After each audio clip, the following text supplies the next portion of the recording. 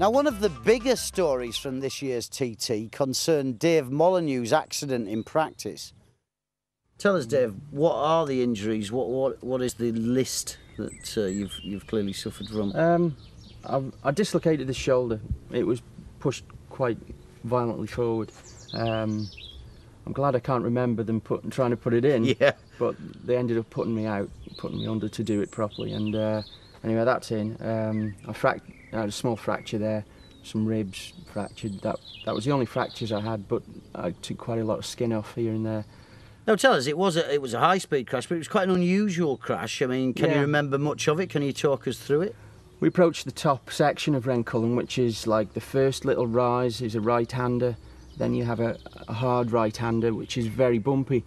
This particular time, I just remember we, we got through it and went off down the left-hander on the hill, approaching the, the, the jump. And it did shock me. I, I, I thought we're travelling pretty handy here. It was there was quite a difference in the way the bike went through there. And the minute the thing rose up in the air, I knew I'd lost it.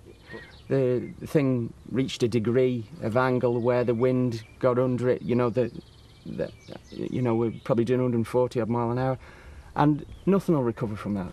Dave, can I just say on behalf of all the viewers, thank you very much. We're really glad that you're going to be uh, okay again. And uh, You're welcome. so, just, I mean, I've got an injured arm as well, so I'm sure we can do something together. Thank you very much for your You're time, welcome. Dave. Pleasure, Cheers. absolute pleasure. Well, great to see Molly on the mend there. But sadly, we now have to announce the death of Japanese rider Yun Maeda. Yun died following an accident that occurred in practice last week. All of us at Men and Motors would like to extend our deepest sympathies to Yun's family and friends. I think it's a tragic accident, and the sad thing was, it was an accident.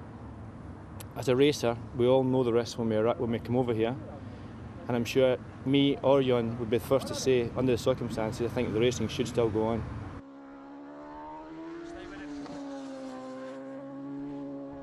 Well, Yun's memories will always remain with us.